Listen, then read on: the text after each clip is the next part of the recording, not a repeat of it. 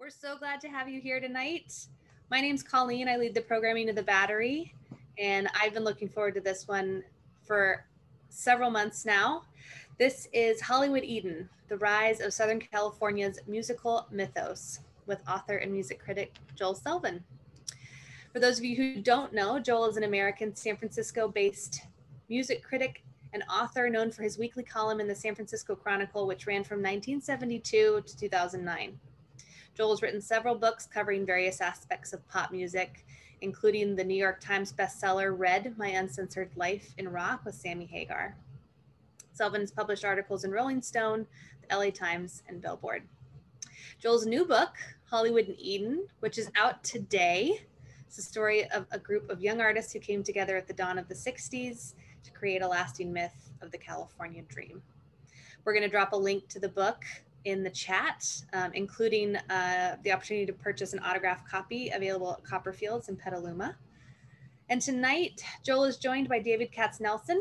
They will be talking about the book, stories from the book, and other gems from Joel's experience in the music industry. Before I hand it over to David and Joel to get started, just a couple of logistics. You'll notice that you all are muted. Um, we're going to keep it that way just for now since it's a big group but please use the chat to ask questions and discuss anything with other members of the audience. We will do a Q&A towards the end, so send any questions you have via the chat during the talk, or you can save them for the end and we'll run through those. We're recording tonight's talk and we'll share a link um, following tonight and it'll be posted on our Battery YouTube page. So I think I've covered all the basics and I'll hand it over to Joel and David. All right, I'm gonna I'm gonna start things off by welcoming everybody. Um, I'm just looking at all you beautiful people. Some of you who I've known for a long, long time. Bob Merlis's dog is here tonight, and we're very, very happy to have have the dog. And um, it's just good seeing everybody. Um, it'd be really much nicer for us to be together. Joel, you are experiencing your your your coming out party on Zoom. This is a different thing for you. Uh, it, how does it feel um, to have a book coming out into the world, you know, during this crazy moment that we're all in together? Oh, you know, everybody's reading again. yeah, that's true. That's true. But you can't you can't be uh, you can't be at a, yeah, at a bar signing books, uh, you know, hugging the flesh and all that kind of stuff. Though it's does it feel like, it, like any other day for you today? Um, no, because uh, this event is is definitely you know we talked about this, David. This this is this is the publication party, and yeah, this is 2021, and here we are uh, on this weird internet uh, hookup. But uh, I, I bet we're back to book signings again soon and uh, you know pressing flesh and and and you know handing out tchotchkes to bookstore managers um, but yeah, you know, let's have some fun. This will be interesting. It's novel. We're all going to remember all this period of our lives. You know, like, did we really? Yeah, we did. I um, I'm encouraging everybody to grab if you if you're into it, grab a drink. This is a book celebration. This is more than just an interview. And you know, I'm I'm coming to this with understanding that probably everybody here has bought the book already. Although if you haven't, right in the chat, that is where you can purchase it. You can purchase it. There you go. Look, there's some people who've already gotten it but I'm, I'm going to try not to give away too much while we dig into the story. Um, you know, this is this is an incredible story. It's an incredible story. It's a story about a period of time that changed the music industry during a changing music industry. Um, you know, Joel, how, if, if, how are you describing the book to people? You know, I'm sure today you've been asked this tons of times. How are you describing the book to people for people who are literally either just getting it in the mail or have just ordered it on Amazon? Yeah, kind of a different way each time. Uh, it, it, starts in uh, the 1958 high school class at University High, a group of very privileged uh, kids who were growing up in what I think was probably like the perfect storm for American teenagers. Uh, and this group of people that knew each other in high school, Jan, Dean, Nancy Sinatra, um, Kim Fowley, the going to become a record producer, and Bruce Johnston of the Beach Boys, and Sandy Nelson, the drummer. I mean, not to mention uh, Ryan O'Neal and, and, and James Brolin, the actors. They were in that class, and so was a, a young girl named Kathy Kohner, whose father uh, translated her diaries into a best-selling novel called Gidget. That was her nickname at the beach. Yeah, the real Gidget was in this class.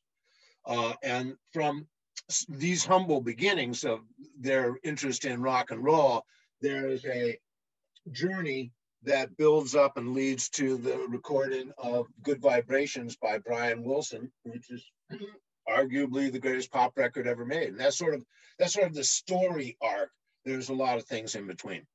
Let's let's talk about the story arc for a minute because you just mentioned so many Hall of Famers in the music world. And for anybody who collects records, you just mentioned about at least three or 400 records that you're going to have to go out and buy immediately if you don't have them already. Well, there um, is a Spotify playlist. There is a spot. Well, and at the very end of the book, there's actually another playlist, and there's some stuff not even on Spotify on that playlist. So, you know, there there's some good stuff there. I, I, encourage everybody to read the book listening because it really kind of gives a, a, feeling to the whole thing. But I want to say, you know, literally first paragraph, last paragraph, Jan Berry, he is to you the the through line of this whole thing. Why did why why did you feel like that? And in a way, you know, why what was your epiphany moment of that's what you wanted, that's who you wanted to be the the through line of the whole thing? Well, uh, the the it just was obvious, frankly. I mean, uh, the, the, he was the very beginning of the idea of studio conceived rock music in Los Angeles. And, and he took that from very primitive amateur recordings he made in his garage on tape recorders that were owned by Howard Hughes to developing a group of session players and uh, uh, regimens at various uh, professional studios. They would be followed by many, many, many people in his wake, and there, some of those are still in place to this day. But Jan Berry was the guy that showed Brian how to hire session musicians, how to stack vocals on top of each other. He was ahead of the class. Um, his un, uh, uh, uh if he hadn't turned into, you know, lost the sort of pop moment about 1965, he would be thought of uh, in the same terms as Brian. But you know, he, he, the the Jan and Dean records went, you know, went kind of corny. Yeah, and I and, and I actually think you're absolutely right. I think that his one of the things that your book shows is his gift to the music scene, you know, and and how it was really the, the, the Brian Jan thing. We're so we're so influential to each other. It was just it's absolutely incredible. Um, there, one of the things that uh, that I absolutely love about this book is that you capture this ethos of by day you're going to high school and then and pre-med and by night you're having hits and hanging out with gangsters and that whole thing right? Um is this the story that that really triggered you wanting to write this book? Was that was that was kind of like kind of totally understand there's a period there's a part where they're they're going on tour and they're having these huge hits and yet they're in the car throwing m&ms at each other you know it's it's it's absolutely nuts it's like was that where you felt like oh my god i want to I got to write this book, you know? I think the trigger point was seeing the yearbook from University High. I, I saw Kevin Walsh out there in the gallery. Uh, he's a, a, a long standing friend who has an amazing collection of all kinds of ephemera, uh, among them high school yearbooks.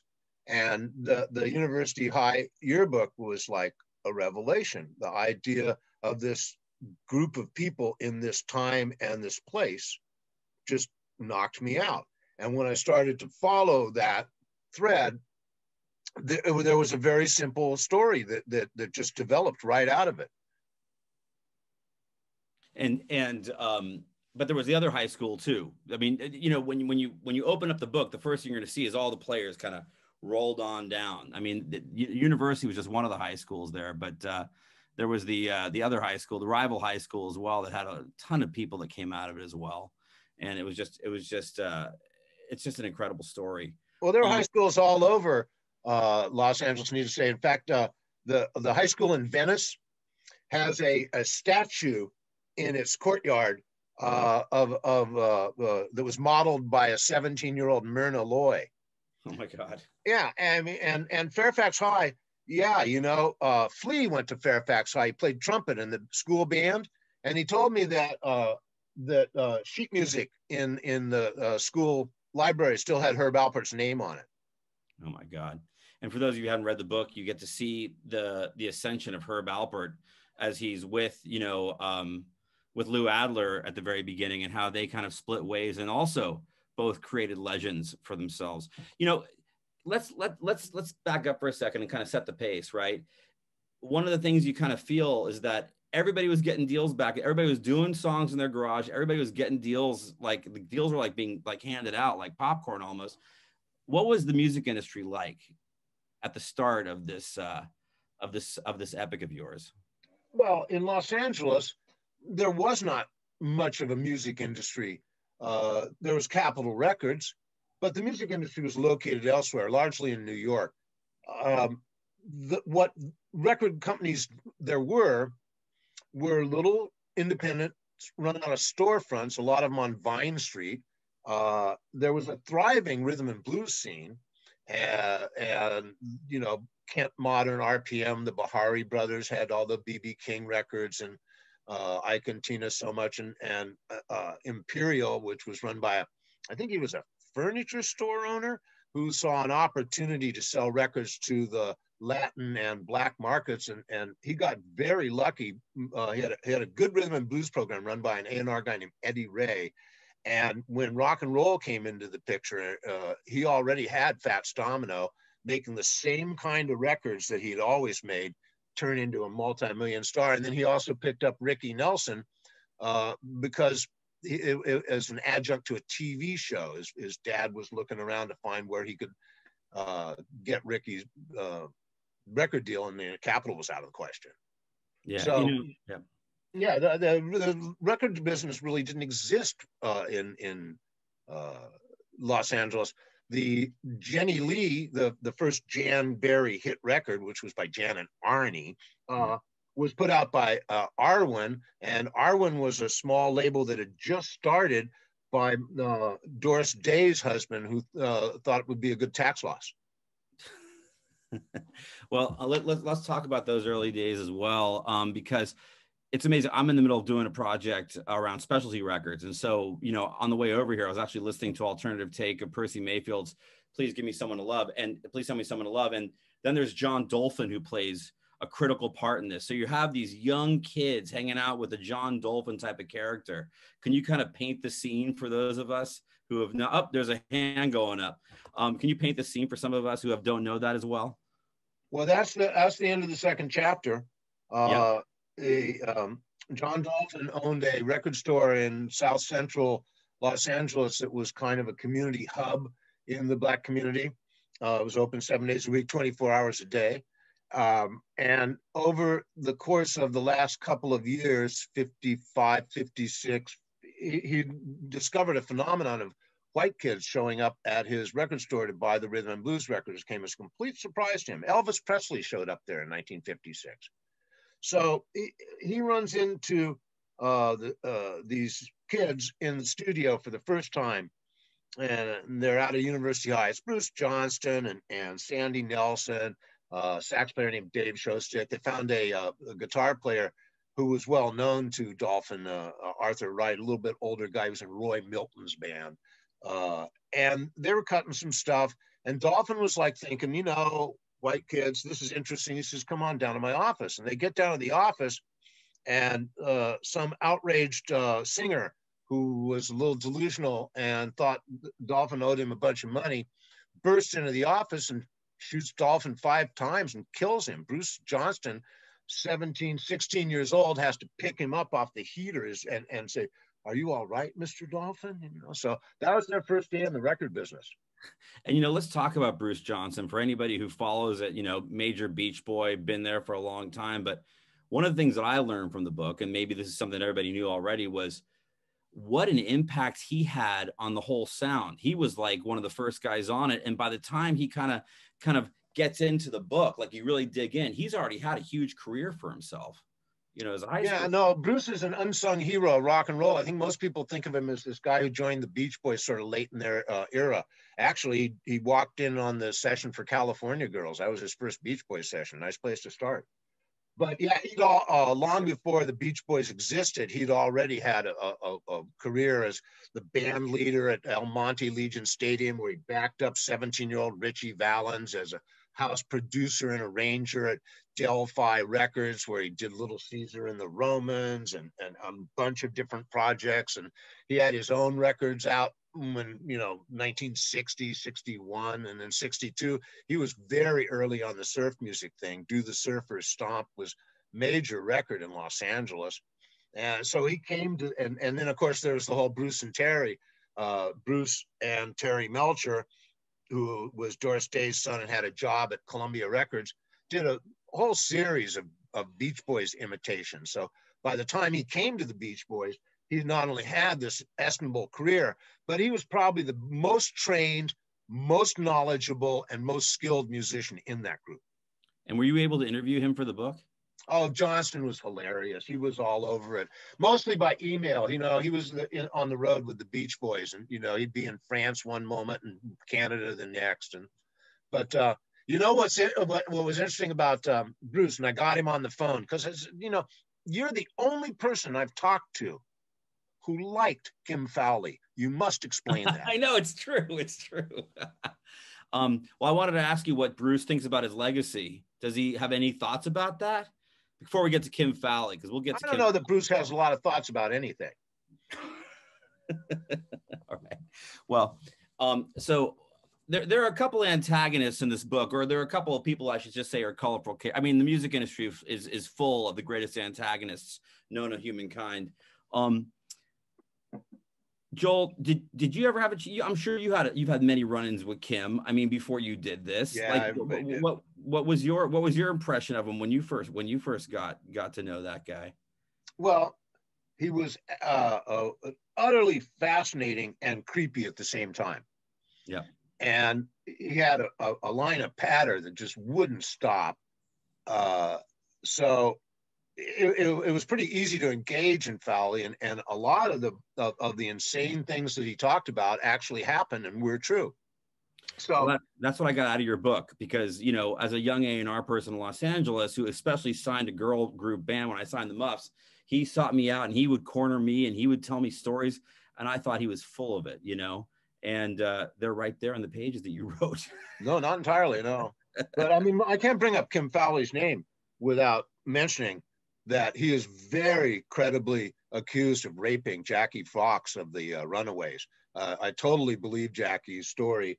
Uh, it's well within the boundaries of my understanding of Kim Fowley, and it just it, it shows that as, as a young kid, he was problematic and difficult and, and antagonistic and, and, and creepy, but he got more so as he got older. And, you know, Kim Fowley, not a good person. No, no, he's not a good person at all. And yet he had such a profound weave into the the story that you tell. You you can't get rid of him like a leech almost. He's he's in he's in it. He's a classic Hollywood character. I don't think he could exist anywhere else. And of course, he's you know, the spawn of these uh, of, of a movie actor who had a hundred roles and nobody ever knew him, and, and a, uh, a, movie actress who uh, opted to marry well. I mean, classic Hollywood background, and uh, Fowley had no distinct, obvious talent. You know, he, he couldn't sing, he couldn't write, he couldn't produce. He had to have help on everything he did but somehow he stayed in the game and always had his fingerprints on something and and, and that's just not going to happen in New York City. That's a Hollywood story. That's so Hollywood story. That's absolutely right. Uh, another Hollywood story is uh, Phil Spector, who plays prominently in, in another problematic character who plays prominently in, in, in the book. Um, when I was working with Lenny Waronker, he always told me about in the 60s, um, all these different producers were trying to outdo each other, which you kind of go into a little bit in the book. How did you find the whole, you know, the whole environment where these like Lou Adlers and Phil Spectors and Brian Wilsons were living. You know, talk a little bit about how you kind of tell that story and what you were thinking about when you were writing it. Well, of course, record production was a new occupation at that point. It really wasn't a well-defined position in the industry. Uh, it was, you know, Lou Adler was the first guy in LA to put his name on a record as a producer. So all that was just starting out. And these guys weren't so much record producers as we think of them today, as more generic record men. I mean, the difference between uh, uh, uh Phil Spector and Brian Wilson, who have worked similarly, and Lou Adler is vast. Lou Adler uh, worked outside the studio. He knew songs, he had taste, he knew what musicians could do what, but he didn't put a stamp on those records. Uh, I, I, don't think it was ever in him to do that. I, I, think he made records that were good enough to do what he wanted them to do. But Spector and and and and Brian were not just competing against each other; they were pushing the envelope, and, and, and to use a horrid cliche, uh, and and just redefining the whole nature of pop music with almost every session. Uh, and and and that was locked in brings into the whole thing the, the competition with the Beatles who were doing that same kind of cultural uh, energizing out of London. And that one comes up in the book because of Rubber Soul spurring Brian to make Pet Sounds and Bruce Johnston showing up in London with the advanced test pressings, Kim Fowley in the room and playing Pet Sounds for Paul McCartney and John Lennon. And then them rushing back to the studio um, to, to kind of try to copy that. Um, okay, let's get into one story that I love if we're talking about producers for a minute from the book. And that is the story that you have Phil Spector and Ike Turner and River Deep Mountain High into the Brian Wilson story. Do you mind just tantalizing these folks here with that story that you told around the one that was the huge failure and this whole idea of how to, you know, what were they going to do with uh, with good vibrations? Well, you know, you're such a smart lad, David. Uh, I never say that in the book. That that's just the juxtaposition of that. And the only mention of the of, of the correlation is that uh, uh, Brian, when he was losing faith in in good vibrations, which he worked on for like eight months, w- was well aware of what happened to Phil's masterpiece. But both of these guys got lost in in giant uh, uh, uh, masterpieces, uh, really large scale work, the types of which had never been done before.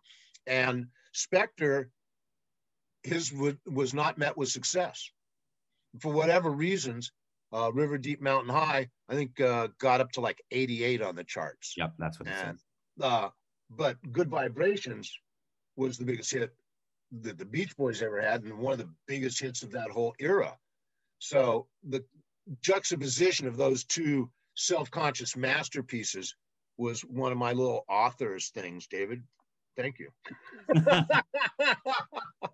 Well i mean you know you know for somebody who follows music though i mean you're talking about this moment in time that everything was changing. You know i didn't have time to look it up but at one point in that era we went from four tracks to eight tracks. And so so the scope of your book which you don't talk about necessarily goes from two tracks to four tracks to eight tracks you know, and all of the of the of the uh, the the the adventure that like that that that comes with right? And so you know when you get to the part where they're doing good vibrations you're doing mountain you know river deep mountain high you're talking about a lot more opportunity uh, sonically in the studio to cut these things. Two people on the top of their game one one works and one completely fails both career defining you know both completely career defining. So that so, so to me to me that's one of the highlights of the book you know, it's hard to it, uh, it's hard to describe River Deep Mountain High as a failure. It just didn't get on the charts.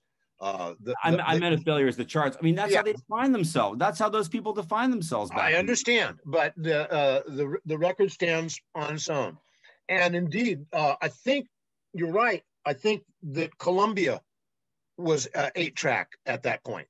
Yeah. I, I, don't think the other studios were quite yet, but um, they were about to be. And you're uh, Brian used studios as part of his composition. He would, you know, do the tracks at Gold Star, do the overdubs at, at Sunset Sound, and and and the vocals at Columbia. Uh, all, all this was in his mind, uh, you know, part of his palette, his his compositional palette.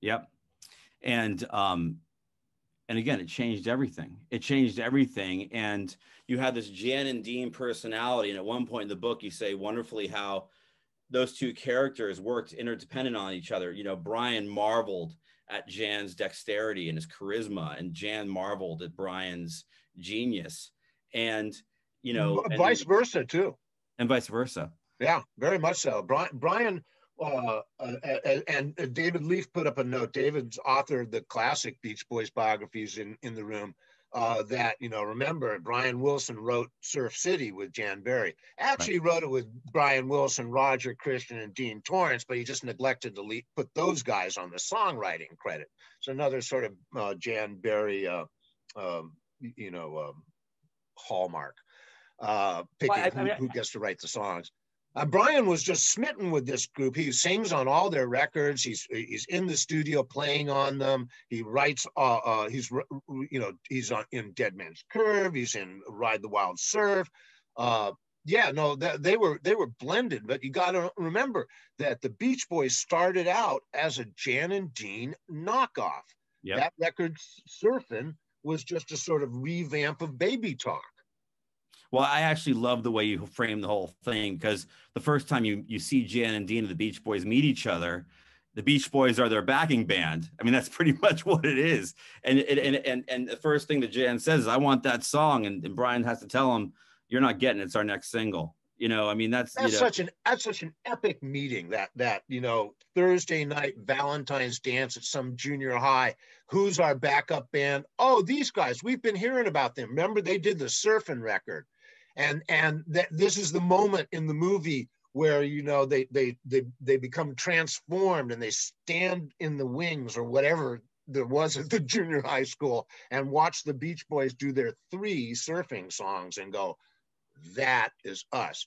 You know, they'd seen the future of rock and roll, yeah. and th- that was just a, an, an, incredible scene to me, and a, a, a pivotal uh, sock hop in rock and roll history you know, a, pivotal sock hop and rock. I love that. Um, the other thing that's that, that I just love about the book is that, you know, when people think about you, you definitely sentimentalize the surf culture, and yet there seems to be danger at every turn, right? So it's like, you know, the way that you've written this book, you you foreshadow almost regularly what's going to happen to Dean, which by the way, I don't have to give away that one. Everybody knows that that ending of that story, you know, and the dead man's curve and that horrible wreck. Was that intentional? Were you just saying to yourself, or were you just said you just you, everywhere you looked, there were fires, there was death, there was, you know, this crazy kidnapping story, which by the way, I had no idea about. I certainly had, did not know that that Jan was a part of it. I know? don't. I, I, Jan, not so. Dean, I oh, don't. I do not know why Dean was not indicted and tried. And if, if it happened uh, uh, uh, today, he would most certainly been included. Uh, uh, only thing I can think of is Hollywood protects its own. But yeah, he was he was up to his tits in the Frank Sinatra Jr. kidnapping, and no real uh, telling what really happened there. That that you, you know this would be a good place where we could bring in a couple of guests here that we have. I would love it. I was actually going to you know, Jill, Jill, Jill, and Judith were both on the scene for that whole episode. Uh, uh, you know, got it. That, that's that's a once in a lifetime event. so can, can, we bring them on? And and and and you know, I think that the way that the law works is there's nothing you can say at this point in time that will incriminate you. Um, that hasn't been already said. So there you go. you know. So, um, Jill, I, I, think you're on without being on camera. Are you there? I yeah. If you can hear me, I am. Oh, that's terrific. Um, so and, and Judith, Judith, welcome. You, we can all see thank you. you. Hi, you. David. Um, thank you for coming to our part to, to Joel's party. This is oh, good. wouldn't miss it. Um, so I think that what's amazing about this book as well, I want you to know, I just love this thing. I, I you know, I, I, I grew, I, I just got to uh, just to step aside for one second. Grew up in San Francisco, grew up going to concerts, and then the next morning, kind of trying to figure out what Joel Selvin thought about what I saw the night before. I mean, uh-huh. that's that's really the way that if you were growing up in the, the, the 70s and 80s and not not to age it but like that that that really was it and and to see the stories that you've been telling since the Chronicle days, and to, to the, here comes the night, and and the Altamont, and all the ones. I just I just love it, and, and I, I think this one is just right up there. I just think that's that is that's sensational. And one of the things that I love about this book is that you tell a story about a person named Jill Gibson, who's right here, right now, who featured so prominently in the entire scene, who until your book has not been framed correctly for this. You know, um, it, you know, um, for uh, Jill, I'll let you let you introduce that, and then let Jill jump in. You know, what made you decide to tell Jill's story? Oh, Jill was the linchpin to doing the book. Uh, I, I, I uh, she's uh, lives in the Bay Area. She's up in Penngrove now. I think um, she was uh, closer when I, I, met her in 2014, uh, and uh, uh, asked her if um, she would participate in a book like this if I actually went ahead and did it. And she agreed to. And when, when that happened, I, I really knew that this was going to be possible because it, this thing was such a boys' club, and there are uh, there there's no real picture of this scene that includes females and and and that's super important to me so you know jill's story was just incredibly uh, key to to the whole thing and and she, she has i hope a real life role in the book beyond being somebody's girlfriend um, ask ask Judith about that. Uh, uh, Judith uh, witnessed this whole thing, and she's read the book a couple, couple, three times. She tells three me. times, wow. three times. Yeah. Well, uh, you know how how did how did I do with Jill? It always bothered me that Jill never got what was coming to her. I mean that in the best way, Jill. Thank you. But it was. Um, she was she was not aware i believe she was not aware of how talented she was hmm. and then being as beautiful as she was always got in the way of things not you know it got in the way because of other people but she always had to sort of you know fight that off which again kept her out of the boys club but she's as close as ever anybody I know ever got. Yeah. That didn't you know that didn't marry anybody. Shelley Fabares married somebody. and, and, and for, those, for those of you who haven't read the book yet, it's just you know Jill's connection to, I mean, there's so much to the Jan and Dean story and and and and, and how she performed there. The mamas and the papas story. Uh, you know, I want to hear from you, Jill, about that one, but and, and the Frank Sinatra Jr. kidnapping story, and and and and and to the point of being there and going back to to Jan in the hospital um, after suffering that, you know, the tragic, tragic uh, dead man's curve crash. Um, you were there for it all, and not only were you there for it all, but when you were asked to perform, you stepped up. Um, the first question I have for you what was the high point for you musically that you were involved with during this whole scene? Oh boy, that's that's a hard one because you might think I'd say the mamas and papas, but that was such after a, reading the story. yeah, yeah, that was a real mixed bag, you know. So I, I wouldn't say that, but then what was? I, am really not sure. I think, um, you know, I just had a lot of fun. I, I always loved music. It's really my first love and then uh, writing for Jan. I didn't write for Jan, but I was always writing music, and he would take my my songs and kind of re put a different beat to it or something, you know, and he would modify them in such a way. And I think that that was really the most fun I had in in that whole time of uh, in the music business. I'd say that was my highlight. And being I, I, in the studio with with him actually, and you know, and uh, with the with the uh, Wrecking Crew, all, with all the, you know, he formed the Wrecking Crew really for his songs, and then it went to and then it went to the Beach Boys. You know, Brian picked that up, but you know that that whole time was really great for me. I loved it. I spent a lot of time in the studio. There's some fantastic photos of Jill in uh, playing a, a rhythm guitar uh, right in the middle of all the wrecking crew guys. I'm, you know, it, it it's it's fantastic. It's it's you know it's like a flower in a dung heap. That's my girl.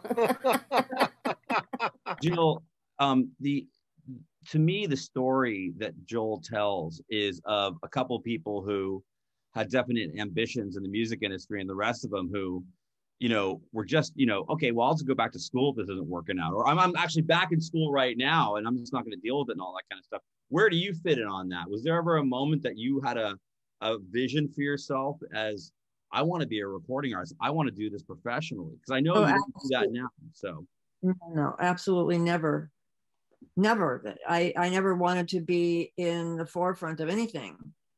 I just liked writing music because I could do it by myself. I never liked. Perf- I mean, it's not like I didn't like performing, but I never aspired to be a performer or an entertainer or to be visible in any way in the music business. I just was very musical myself, love to write and love to hang out with people and create, but not oh. perform. Well, then what happened with the mamas and the papas? Because that was definitely a performing thing. I mean, you, you, um, all of a sudden, and again, this is a, a deep dive into the book. So for all of you who haven't read it yet, get ready for some good stuff. But Jill, um, what was it like to, you know, all of a sudden, you know, take over as, uh, you know, as one of the leaders of the, the vocal group right when they were at their pinnacle of success? Well, I think the reason I did it was because I loved their music so much. And I mean, I, I kind of was a little worried about performing, but it turned out not to be a problem. Uh, it was kind of fun. But uh, as I said, that the whole thing was such a mixed bag because there was Michelle always over here in the wings trying to get back in the group. I felt it. Um, while meanwhile i'm practicing songs that i loved singing and performing them. So you know it was just such a real mixed bag this whole thing and I'm not sure what the question was now. I think i lost the thread there.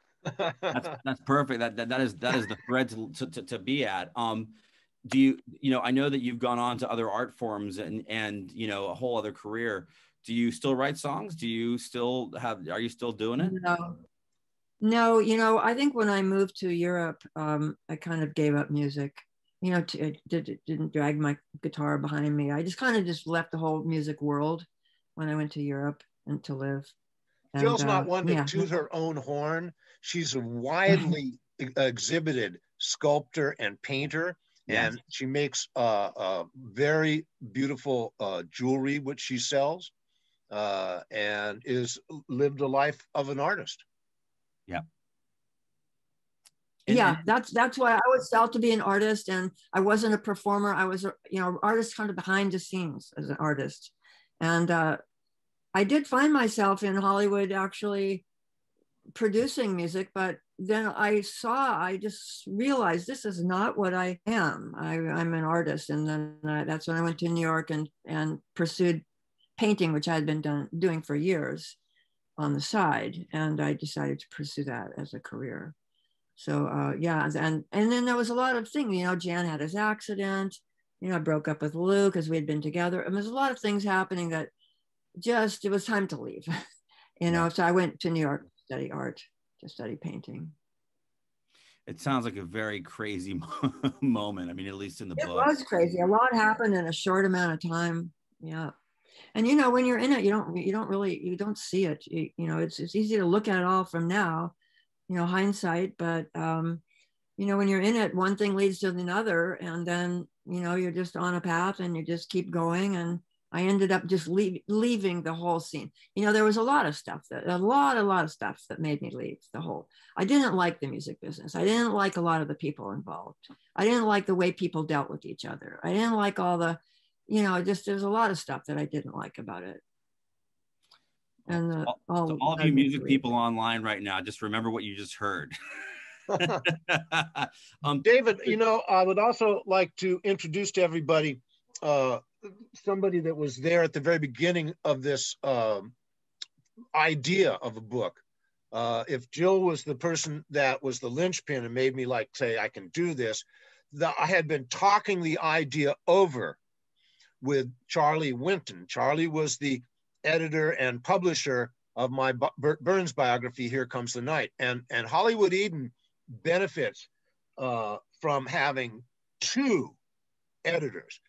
Charlie was the American editor, and uh, Doug Richmond, who's out there in the gallery somewhere, is the Canadian editor. So th- th- this book has been handled but like a baby the whole time by brilliant, wonderful people. And I, I want Charlie to take a bow. There he is. Charlie and Barbara. Charlie and and and also uh, Doug, if you want to jump in, when you when you uh, read the book, when you heard the idea, and again, many of these stories have been told before, not like this. You know, what were you thinking? Well, you know, the, the Bert Burns book was a very successful book and a super fun book to work on with Joel. It was extremely complex. Um, and, um, and then I went through, uh, you know, some uh, career changes where I sold my publishing company. And so when Joel first pitched um, Hollywood Eden, or what would become Hollywood Eden, I don't think the book had a title at that particular juncture. Uh, but I could obviously see the similarity between uh, Here Comes the Night. It was the LA version. In some ways, it was the LA version of Here Comes the Night. But instead of being centered on one character or having one single character, Bert Burns, to drive the book, we had multiple characters, which actually made it more appealing, and on some level, more more you know ultimately it would be more challenging. Um, so anyway, it took uh, a few years for us to find a home after I sort of retired from owning publishing companies, uh, to, for me to find a home for it that would kind of go with uh, the unusual thing of having a guest editor. Uh, normally, the publisher would buy it and they would edit the book themselves. But anyway, we, we, we convinced them that, that the way to go from the start. Um, but you know, it was it's a fabulous story with in terms of having so many different characters, and then just as, as you guys have already covered, the fact that you know, everybody comes from this kind of, uh, you know, they're all in high school together and, and nobody's thinking, uh, you know, in the fall of 1957, when they're singing in the shower, nobody's thinking about having a music career, right? It's all just organic evolution. And then that you draw in, you know, Adler, Herb Alpert, Phil Spector, you know, and some of the even Steve Douglas, you know, all of these people who Lee Hazlewood. What? Lee Hazlewood. We haven't even talked about Lee Hazlewood or, or Nancy Sinatra.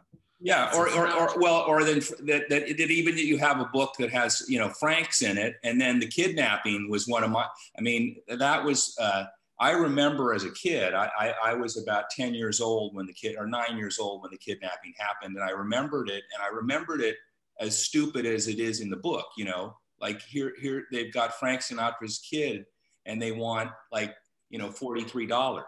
when Frank had already said he'd give a million. He already said it. and then when Joel teased out all the details, you know, Frank Sinatra going to the payphone in Carson. Oh, the payphone, that's my favorite. you got to you got to tell them. You got to tell the people. You got to tell the yeah, people. The, the, the, kidnappers, uh, they, they picked a gas station in Carson City out of a phone book and told him that, you know, they were going to call there and Carson City was a little farther away from Reno than than than they realized. And so they called, and the gas station owner picks up the phone, and the Frank Sinatra there. God, you know, and, and it happens like three times, and the, after the third time, Frank Sinatra pulls up in a car and, and a car full of FBI agents behind him, and he comes out and he says to the gas station owner, "I'm Frank Sinatra. If I had any calls." yeah. I mean, it, it, it, I have to say it's really interesting because um, there's so much we've talked about, but there's so much we haven't. And and one of the ways that you write, Joel, and I really appreciate it, is you keep the story going while you incorporate so much information uh, with every sentence that uh, you know it's it's it's a master class in the history of whatever it is you're talking about and it and and and you, and you make it fun because you really incorporate you, the, the plot still goes you know well thank you david. I, I think before everybody falls asleep we should see if there's any questions I, I was i was just about to open it up for questions even though i have more questions but let other people have a shot i think. I'll ask you later. Are there any questions for the, for this for this crew? For this post wrecking crew? well, you know, I have a question while you guys are thinking of. Oh, we got one. We got wait. We got one. Yeah. Got one. Angel, Angel, you're on mute. Okay, thank you. So I'm curious, you know, given how, you know, humanity doesn't change radically, I don't think, but but times have changed and the music industry has changed. So, um, in terms of the uh, stories that you shared, which are amazing, um, what are like what are some of the experiences that you think that was like a moment in time and that's like unlikely to ever be replicated? Or do you think some of those stories probably still happen today? Oh no i do not. I, I think this was a very specific time in history and i, I do not think that 16 uh, year olds are going to graduate from singing in the showers to uh, uh, the top 10 in under six months ever again. The, the kind of ability to dream your life up and, and, and just have it happen. It's an American fantasy and, and, and it came true for some of these people. Now, of course, there's always another side to the promise fulfilled because they come with bills and that that's one of the things these people did not realize. So when the bills came it, it, it was a, an entirely different experience. Mm-hmm. and you make that very clear. Elliot.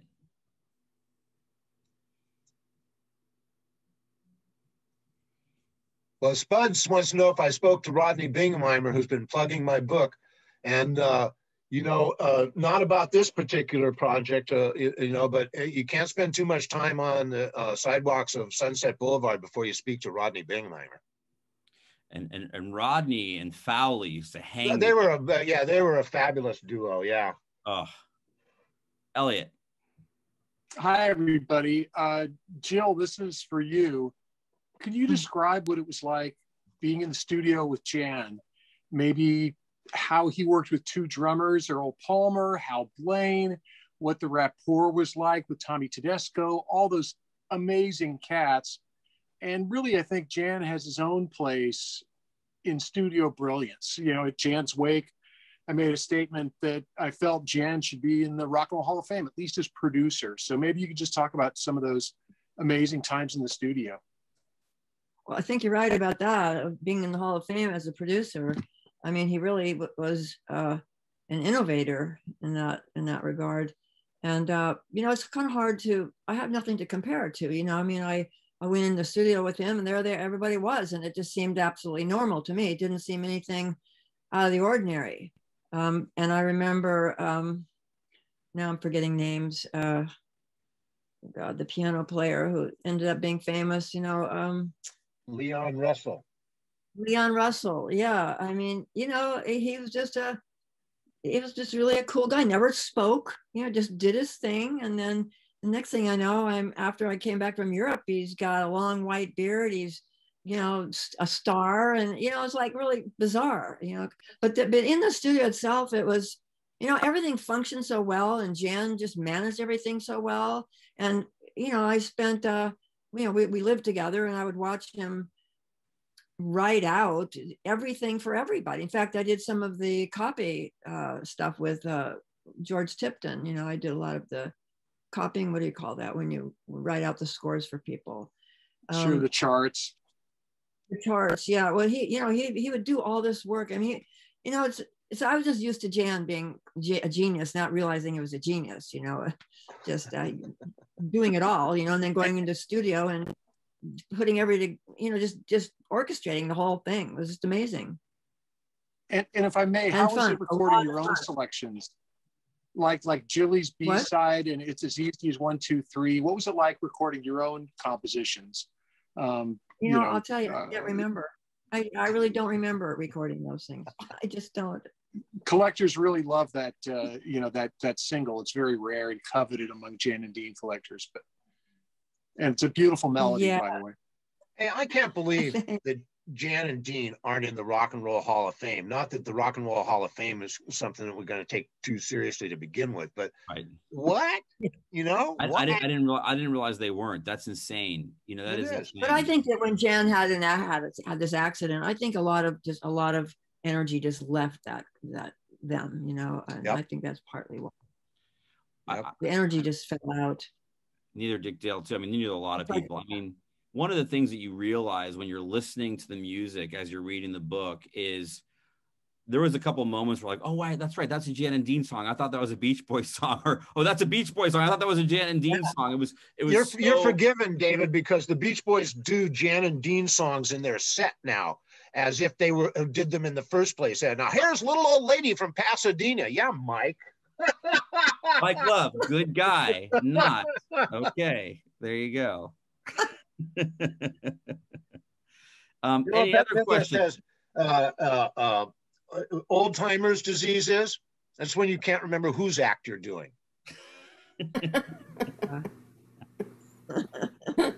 oh, um, okay. I got a question for you. Um, how long did it take to research this book? Well, it, it, you never know when the research started, right? I mean, hearing Surf City on the radio in 1963 counts. But one thing I would like to mention is that this book is greatly informed by many, many hours of conversation with the late, great Steve Douglas, the saxophone player who was on all these records. He was a very dear friend. He moved up to the Bay Area in the 70s, and we spent a ton of time together, I'm happy to say, before he died in like 1994, I think. Uh, and a lot of what is in that book is formed from information in those conversations with Steve. And I just wish mm. I hmm. could have had more. Yeah. And I'm, I'm just looking at your uh, screenshot. You got your ventures uh, poster in the background. I mean, you know, this research has been going on for a long time. the book uh, itself started to form in 2014. And, and, and really the, the key event was meeting Jill and, and, and gaining her uh, uh, cooperation. Uh, from there on, Charlie had his own problem finding a, a, a publishing house, but I, I got to say, he couldn't have found a better one. This was a Canadian firm called House of Anansi, and I have never had a better experience with any publishing company. The editors, the copy uh, editors, the marketing people, everybody, all the way up to the top. They've just been fabulous, and they, and this is not a this is a little bit outside their normal book. So this is an experiment for them, and I, and I, and I hope it's successful. Well, um, any other questions for this? Because that's a great way to end. any other questions though before we uh, before we tie this one up? No. All right. Well, listen. Um, I don't know if you see this in the chat, but you have autographed copies available at Copperfields in Petaluma. Um, and I'm sure, you know, as the world opens up, Joel will be very willing to sign books. I'll be going door to door. and uh, and I just I just want to I want to thank um, that our time is is is coming to an end. I want to I want to just thank everybody who's on here. Jill, thank you so much for sharing your story. Judith, I actually have more questions for you. Judith also came from a Hollywood family and experienced this craziness. I think we're gonna have to have you back just to talk to you about your about, about what, what went on with you, you know. And and Charlie, I think you and I met at one of Joel's famous thanks post Thanksgiving uh, dinners a long, long time. Good to see you again. And just uh, it's good to see everybody out there um, who either had a part in this, just as a fan of this, or is continuing to muscle on with this music stuff. Um, listening to this tale that is so quintessential to the American music fabric. And and Joel, I just want to just tell you something. I I'm so thankful that you keep you know figuring out these great stories to tell us, even ones that contain inside them things that we already knew, but putting them in a way that really help us make a make them you know these living, breathing, beautiful things that you do. And uh, congratulations on your book coming out today. It's just what an incredible, incredible thing it is. So thank you, David. I hope that my books all contain a kernel of what it was like to actually be the people I'm writing about. That, that, that's what I feel. That's what I feel. So I can't thank all of you enough. This is a very uh, illustrious crowd. Uh, and I'm, you know, I'm super impressed and flattered, and and uh, my humble thanks to all of you. I know that going on a Zoom meeting to listen to some author uh, talk about his book, you know, it's pretty low on the entertainment scale. So Depends on who you are. I appreciate you, every one of you showing up tonight. Yeah. Thanks you, for writing the book, Joel. No, thank you, and Colleen, thank you to- for hosting us. And we're dedicating to are we are we dedicating tonight to Brian Rohan? I think we're dedicating the the evening to Brian Rohan. Brian Rohan. Yeah. All right, everybody. Thank you all. We'll see you soon. Joel, we'll have you at the battery as soon as we can. And we Can't do wait. a recap of all this. Y'all stay safe. We'll see you soon. See you, everybody.